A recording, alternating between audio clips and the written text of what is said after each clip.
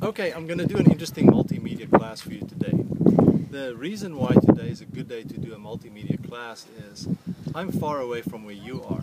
So what did we do in the old days to describe where you were? I've seen some letters where people just try to express of how things smell. They try to talk about the mountains and they at a castle and so forth.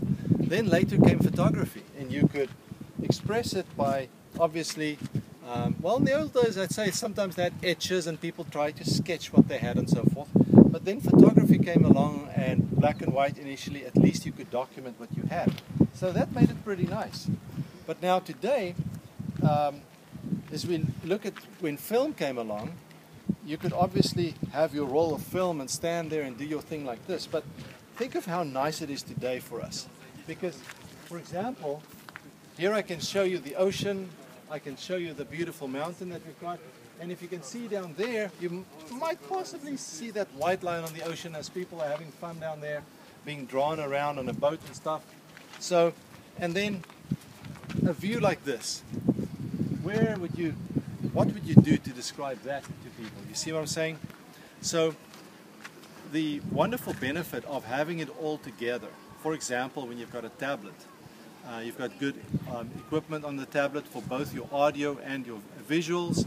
Um, you can capture the whole environment um, and with the hit of a button in a Wi-Fi environment or if you've got a cellular network, there you go. You can instantly share it. So our world has really changed today when it comes to photography, when it comes to video and with audio um, in the way we communicate.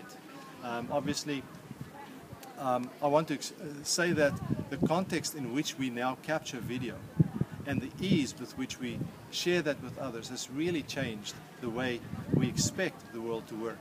So an ease in using these kinds of materials is really important for us so that we can um, understand that this is the way it works today. It's not an exceptional thing, it's not um, unusual and so forth to be able to communicate like this. In fact, if we do not have these skills, we are definitely show, showing that we're not part of today's community in the way in which it works.